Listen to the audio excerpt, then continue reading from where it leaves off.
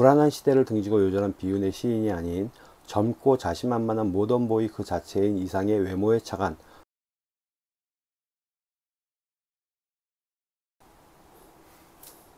안녕하세요. 노랑겸삼입니다. 아, 오늘 소개할 책은 이 책. 경성탐정 이상 김재희 님께서 쓰셨고요. 시공사에서 출간된 책입니다. 아, 이 책은 사실 제가 요즘에 소설을 거의 대부분 이제 윌라에서 어, 듣고 있는데 윌라에서 무슨 책을 좀 들어볼까 이리저리 뒤적거리다가 발견을 했어요. 그리고 제가 이 책을 선택하게 된 이유는 예, 제목 때문이었습니다. 일단 제목이 눈길을 확 끌더라고요. 그리고 책을 다 읽고 난 다음에 드는 생각은 이 책은 제목이 전부다.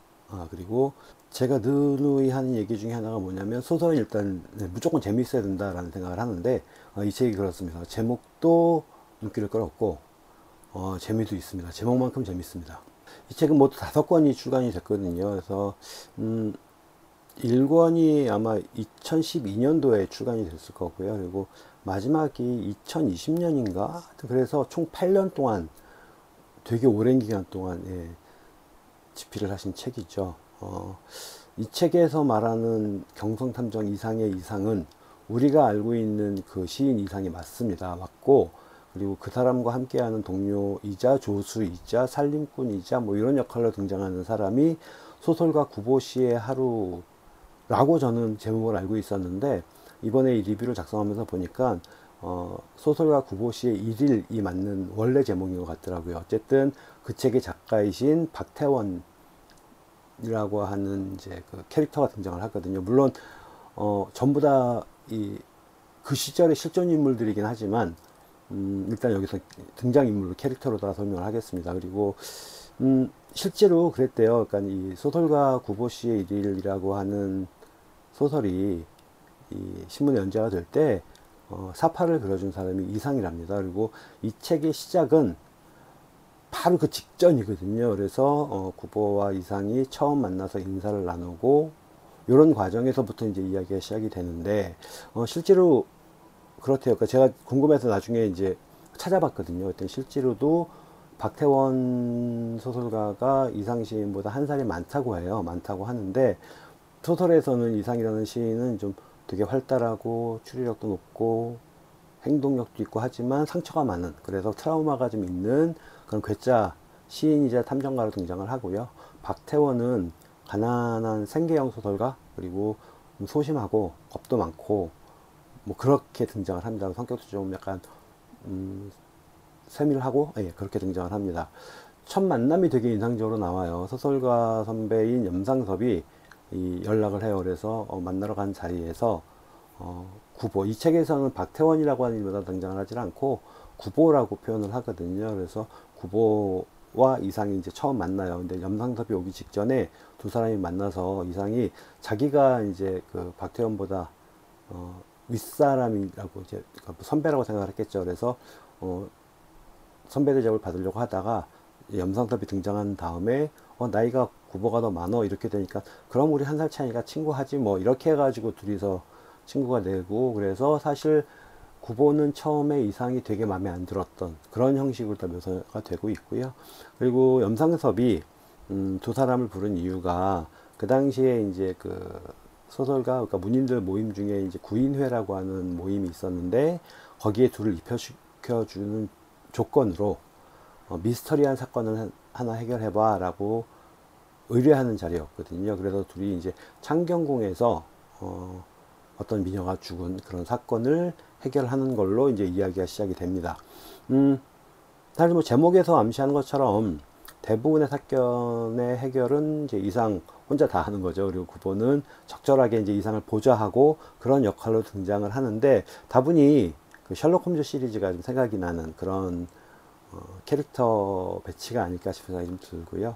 그리고 제가 알기로 셜록 홈즈 같은 경우에도 그 셜록 홈즈를 죽이는 걸로 끝내려고 했는데 그 이후에 독자들이 하도 예, 성화를 부려서 어쩔 수 없이 다시 홈즈를 부활시켰던 했다라고 하는 이야기를 들은 기억이 나거든요. 근데 이 책에서도 이상이 죽어요. 죽는데 두 번인가 세 번인가 죽는 걸로 나오거든요. 근데 이제 어 문제는 이제 그거죠. 어 근데 왜 어, 앞에서 죽었는데 왜 갑자기 또 아무런 설명 없이 등장을 하지? 뭐 이런 부분들이 좀 나오는데 그게 책을 읽다 보면 다섯 권이 시간 순서대로다가 이 배치된 게 아니에요 사건이. 그러다 보니까 한 세 권쯤 읽고 나니까 그걸 명확하게 알겠더라고요. 약간 뭐 어린 시절도 등장을 하기도 하고 그 다음에 사건도 어, 이 사건이 첫 번째 사건이 끝나고 두 번째 사건이 배, 나오고 이런 구조가 아니었겠구나라는 생각을 좀 하게 되는데 어쨌든 1권인가 2권인가 마지막에 이제 이상이 죽는 부분이 나오거든요. 그리고 장례식도 치르고 이런 부분들이 나오는데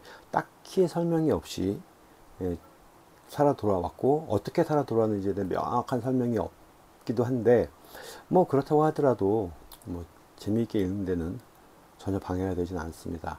아마도 작가는 이 책을 쓰기 위해서 경성이라고 불리는 그 시절의 그 동네 그리고 그 시절의 문화 그 시절의 우리나라의 어떤 뭐 흐름들 이런 것들에 대해서 공부를 많이 했겠죠. 여기다가 어, 구보라고 하는 작가의 작품과 이상이라고 하는 시인의 작품들도 많이 읽고 공부를 했을 것 같아요. 당연히 그랬겠죠. 그리고 에피소드 중에도 보면 음, 그 이상의 시를 모티프로 한 것들도 있고 그 다음에 중간중간에 이상의 시를 적절하게 이 언급을 하는 부분도 나오는데 이게 단순하게 그냥 이야기상으로 끼워 맞추는 수준은 아니고요.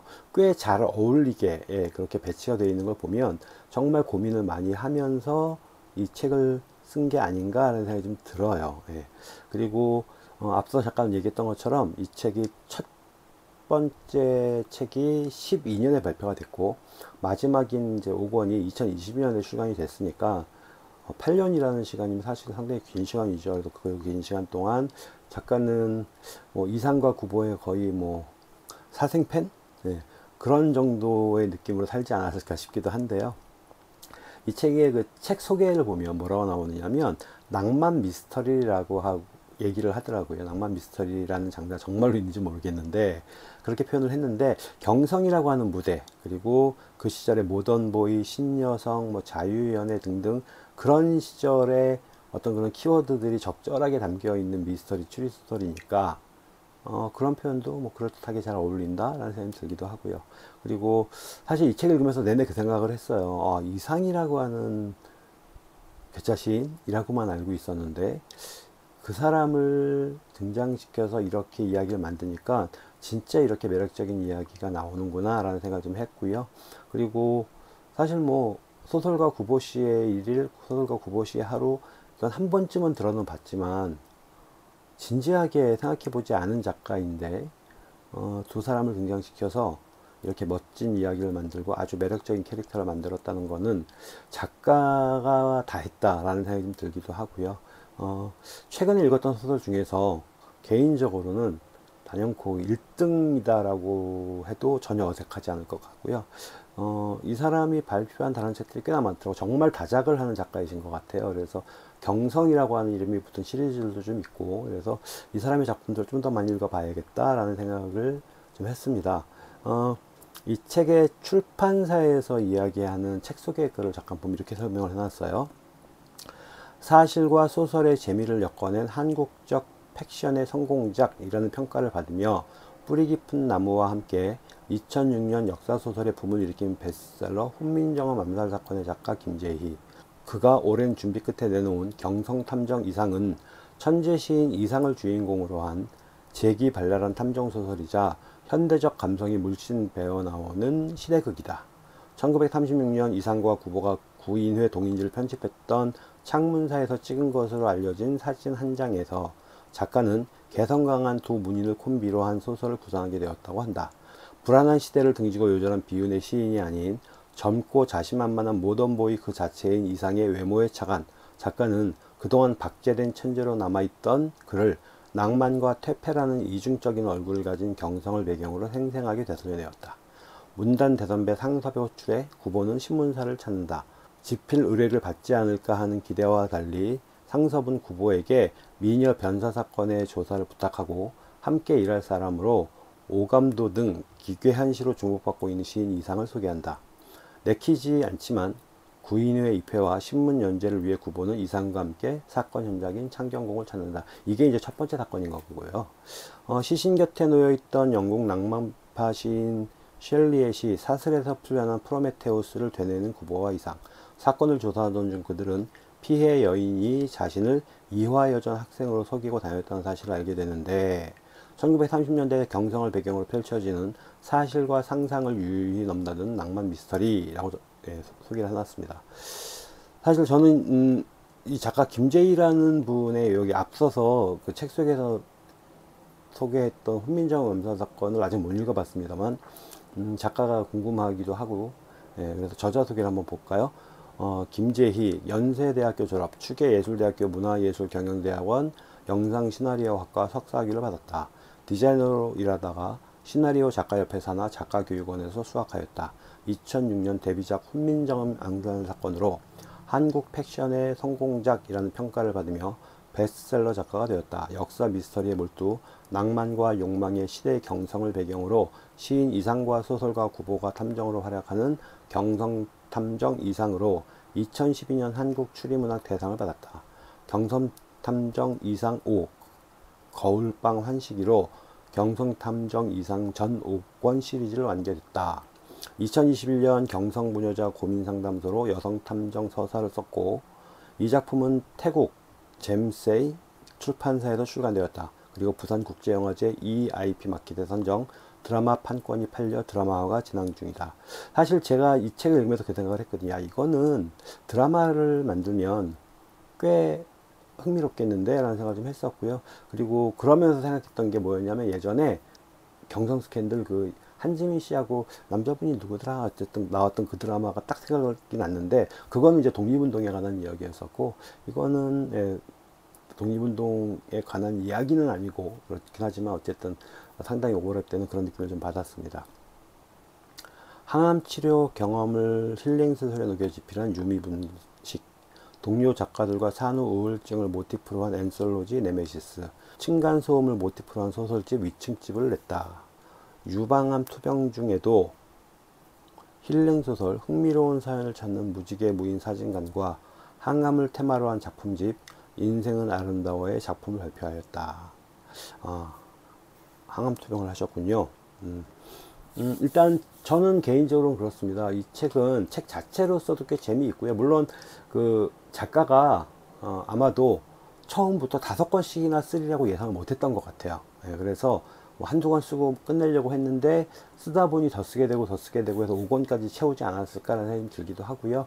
1권부터 4권까지는 단편 모음집입니다. 그러니까 책 한 권에 여러 사건들을 이게 짤막짤막하게 달아놨었고 그리고 5권은 전체가 한 사건이에요. 그리고 이제 물론 그 그 큰 사건 하나를 해결하기 위해서 중간 중간에 이제 다른 이야기들이 이제 조금씩 조금씩 나뉘기는 하지만 어쨌든 전체가 한 사건이고요. 그래서 1권부터 4권까지는 단편 모음집, 5권은 그거 하나로다가 한 사건을 다룬 장편 소설 이렇게 나뉘어져 있는 것도 약간 독특한 지점이기도 하고요.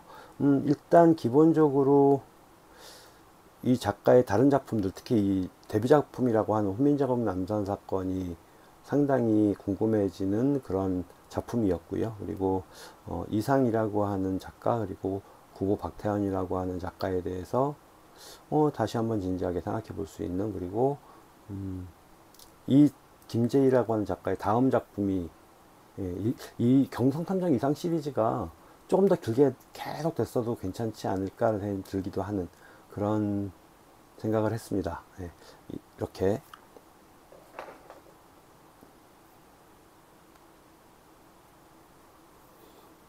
경성탐정 이상 김재희 님이 쓰신 책을 소개하는 영상이었습니다. 감사합니다. 노랑잠수이었습니다